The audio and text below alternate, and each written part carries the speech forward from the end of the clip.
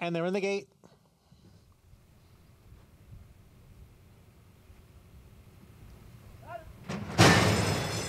And they're off.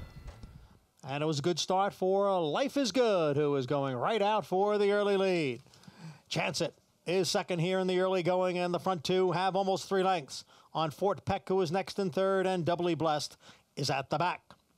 And it is the big favorite, Life is Good, taking the field up the backstretch and leading here by a length.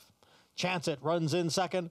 Fort Peck down at the rail in third, and alongside is Doubly Blessed, the opening quarter mile 23 and two fifth seconds.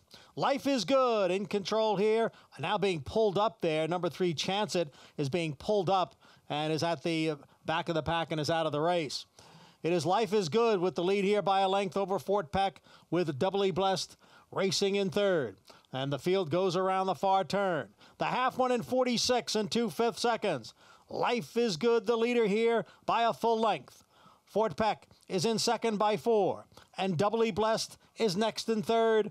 And now the field is coming for the top of the stretch with Life is Good, the three year old, leading Fort Peck by a little more than a length and doubly blessed is third. They come off the turn and enter the stretch. Life is good, still in command here, and life is good. Now asks for a bit more here by Irad Ortiz Jr., and he is responding. Life is good has opened up a five length lead, and then it is Fort Peck and doubly blessed. Life is good back in the winner's circle in his Belmont debut. He wins the Grade 2 Kelso and won it by almost five. The mile went in one minute, 34 and one fifth seconds.